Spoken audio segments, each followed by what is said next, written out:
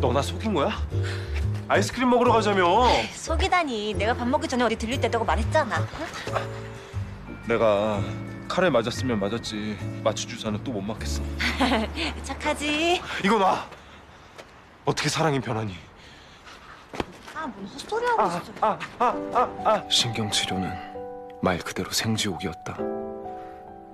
사람으로 산다는 건 의외의 통증과 싸우는 일이었다. 짠.